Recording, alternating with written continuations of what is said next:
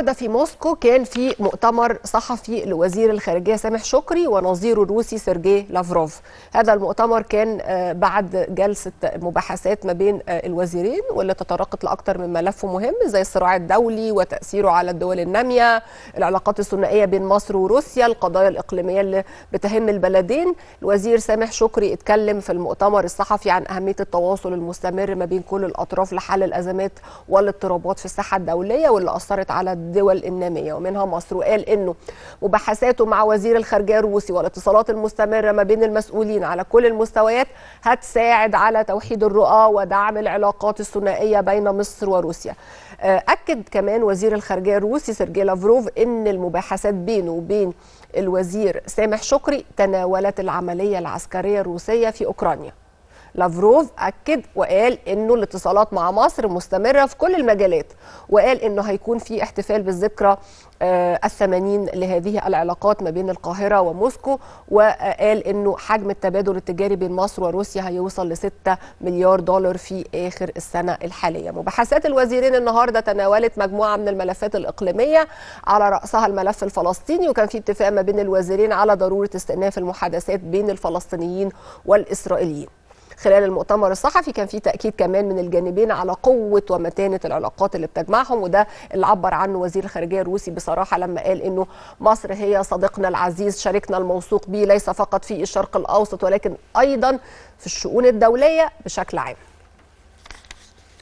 طيب إذا كان في حد مننا كده شايل أقساط هم أقساط الشقة أو العربية أو أقساط أي حاجة فلازم يعرف إنه زيه زي تاني أغنى راجل في العالم اللي برضه شايل هم الأقساط بتاعته بس مع فرق بسيط وهو إنه الأقساط بتاعه المليونير ده عبارة عن فوايد دين ب 12 مليار و500 مليون دولار. هذا المبلغ الضخم ده دين على الملياردير إيلون ماسك. استلفهم من البنوك عشان يكمل قيمة صفقة شراء تويتر اللي كانت لو تفتكروا ب 44 مليار دولار. الراجل كان معاه حاجة و30 مليار دولار استلف الباقي عشان يشتري تويتر. ما فيهاش حاجة. الراجل مزنوق في تويتر يعني. لكن المشكلة إنه البنوك اللي سلفت ماسك كانت عايزة تبيع أكتر من نص الدين لبعض المستثمرين. ما هو ده برضو نوع من الاستثمار. لكن ما حصلش البيع ده. والدنيا وقفت. من أربع أيام بس الديانة راحوا وقفوا على باب شركة تويتر وقالوا لماسك هات الفلوس اللي عليك. كانوا عايزين ياخدوا أول قسط من فوائد الدين في ميعاده اللي هو يوم 27 يناير. طبعا في الآخر إيلون ماسك دفع القسط.